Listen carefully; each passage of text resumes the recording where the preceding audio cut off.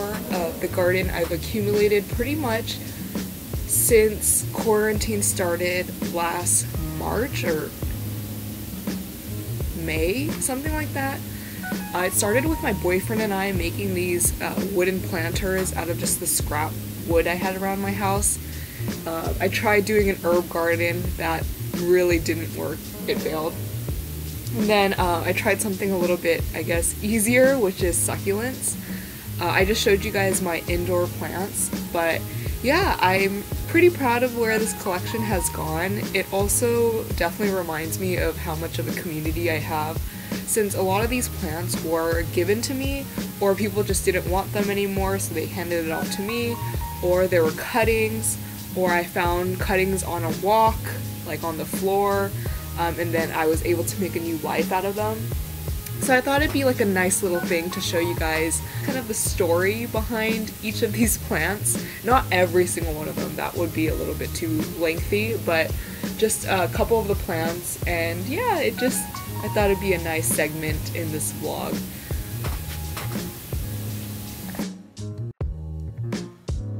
All these plants right here, I've put it in sort of a theme. like they're the tall green succulents.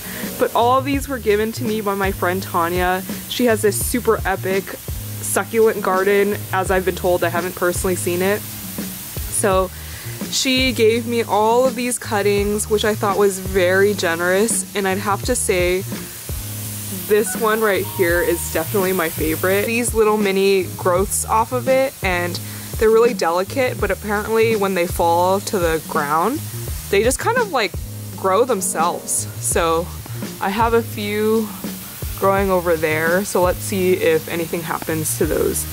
So this is where my collection actually formally began. This planter was actually also given to me. Uh, so I just took this planter, filled it with soil, and then my boyfriend's parents gave me some of these succulents that, man, these are like I'm so proud of these because they've definitely grown really big and healthy. These used to be really, really tiny and now they have new growth as you can see. Oh, how, man, seeing new growth is such a serotonin kick. It feels so good. But, um, yeah, these were, the, the big ones were the ones that were given to me by his parents. They're bigger now because they've had a, a year to grow big and healthy, so that one as well. And then this one's a really fun one. I apparently this is like the weeds of succulents. It just grows wildly, and I. I really don't mind it. I, I really like how it looks actually, and they're so fun and playful. And then um, I thought I'd share that. So this was a cutting. Uh, it's. I, I think it's. I think it's growing. Um, what else is a cutting? This was a cutting off of a dead plant, so I'm trying to revive it. As you can see, it doesn't look like the healthiest condition. Uh, this was also a cutting that I'm trying to revive. Um, and then all these mini ones were also given to me by Tanya. She's the one that gave me the planter ones that I previously showed. But I think the coolest part of my collection is this right here. Do you see all the little succulent babies? Oh, so satisfying. I love that. Ah. It, it's such a rewarding feeling, like you grew that. Um, and this one has a little succulent baby underneath as well. I don't know if you guys will be able to see it. These ones are really fun ones. this is kind of like my experimental testing ground pot. So this plant is called the fire stick. So this is literally just, I found this cutting on the floor when I was walking around David's apartment, my boyfriend. And then as you can see, there's like new growth like all over. It's like peppered all over throughout the plant. So that is really rewarding. Um, I tried doing another one back here. And this one, for, I forgot what it's called exactly. Something with aloe, I think. But as you can see, all these leaves that are really like browning and wilted, that was from the when we first cut the plant. So funny story, we were on a hike and we saw this plant. It was practically falling off, so we took it as well. And look at this. Look at all these new leaves. That's all new growth. This continues to just spread and unfurl, this pointy one right here. This is just, this I think is like the biggest revival that I've done out of all the succulents that I have. To see new leaves unfurl like on a weekly basis is very satisfying. And also to just see roots grow on these cuttings. At first they were all dry and calloused and then putting it in soil you actually see the roots. That's just an amazing feeling.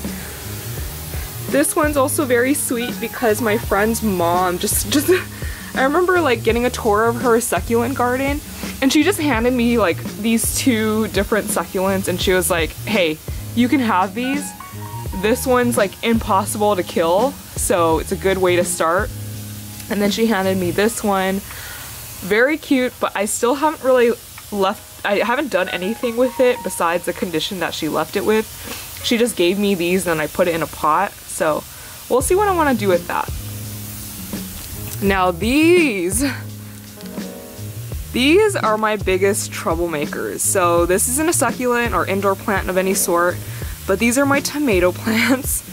And it is a big pain because tomatoes require a lot of water and maybe it's just a patience thing too because I, I like to see new growth all the time but as you can see there's no new growth. I mean it is it is flowering in some areas but and then flowers are where the tomatoes come out of but uh, for the most part I haven't really seen any growth with these. But I have to be patient I've only had these for like a month so we'll see what happens. And then this cacti, also a very sweet and funny story. My friend didn't want this anymore, so I drove all the way to her place to pick it up, but during the commute, the this section got really weak. So this is actually supposed to be connected, these two parts, to be like a six foot long cactus, but during transportation, this part got really weak, so when we dropped it off, it just completely broke in half. But I thought it was not a big deal anyways because it was pretty long anyway, so it would have been a little bit insecure if it's like a windy season. Um, so this is very rewarding as well, but it has new growth, y'all. That is new growth. How fun. So yeah, the base does not look that healthy whatsoever, but um, I will say that this mini guy off coming off of it looks really healthy. So yeah.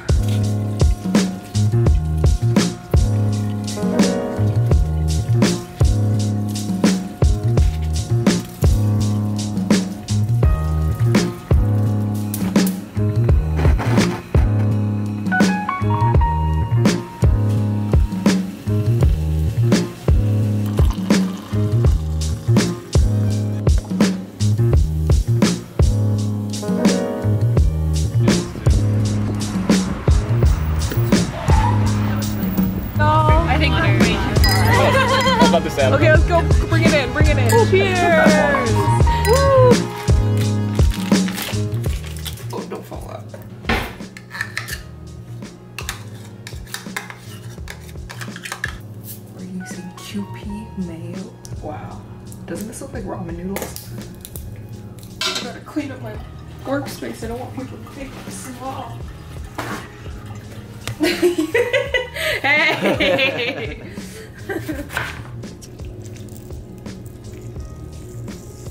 Papers. Great. Shaman. You should get the Alaska uh,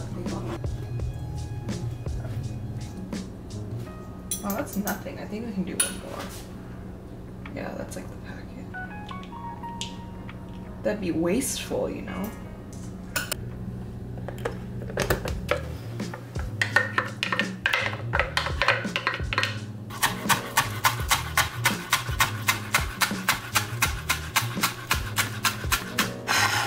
Ooh. This is definitely way more than four tablespoons.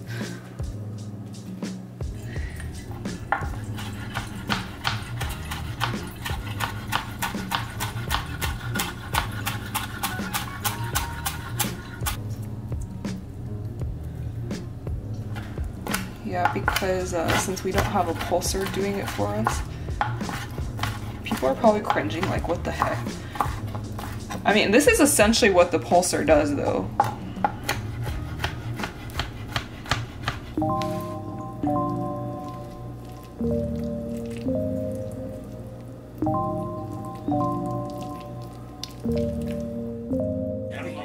Yeah,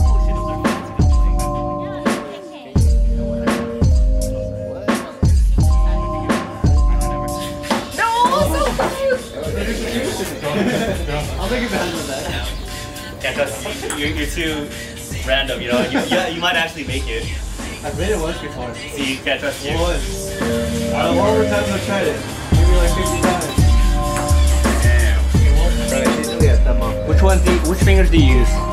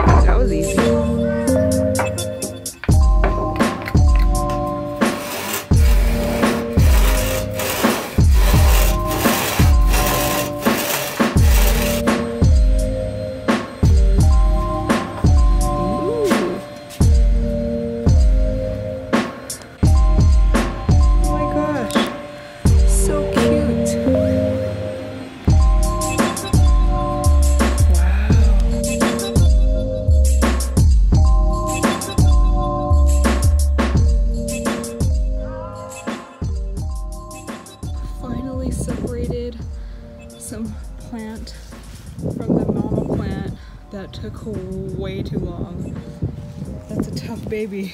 Wow. Okay, gonna continue. Before I end the vlog, I wanted to show you guys the plants, more plants, but I wanted to show you guys the plants that I now have in my room because a little bit has changed. So I thought I'd show that really quick.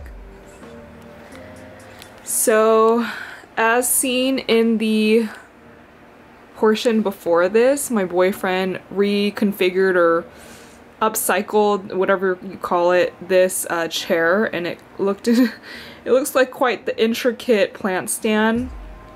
But it houses my monstera. Uh, look at the new growth. Ugh, I'll never get over that. But this pot that I got was from TJ Maxx, 15 bucks. I mean, come on, like that's the size of my hand. It's a trust me, it's a pretty big planter pot, so I'm thrilled about finding that for that deal. Honestly, I feel like Goodwill nowadays is even that expensive too, so I was willing to fish out the 15 bucks for that. Um, this is pretty much the same. I'm editing vlog, the vlog as we speak, but this plant, this bamboo, bamboo plant is pretty much the same. It's really cool because I've never seen this before where there's like four new growths coming out of like one sprout. So that's pretty cool. So this is the next new, I guess, addition. I added the ZZ plant into my room. It used to be downstairs and as seen in the clip before too, I actually separated it into three separate pots. This thing was getting overgrown and just like, it was psh, not fitting in the pot. So I'm hoping that now that the plant has more room to grow, it'll grow fast. I mean, it already was growing fast. As you can see, there's a new growth sprout just right there. This one was a new growth too. You can tell by the like light greenish leaf color. And then these two were cuttings off of the Monstera plant, the mama one. I just cut them um, and they're doing pretty well, honestly. And I have one in my restroom too. And then this plant, I forget what it's called, but this one's pretty low maintenance and it's been doing well too. So that concludes the weekend in my life vlog. I hope you guys enjoyed it. I don't typically vlog much anymore, but I'm thinking I want to get back into it. This was supposed to be a more talky vlog, but it ended up just being all about plants. So I hope you don't mind. But without further ado, I'm going to conclude the video here. Thank you so much for watching, and I'll see you in my next video. Bye!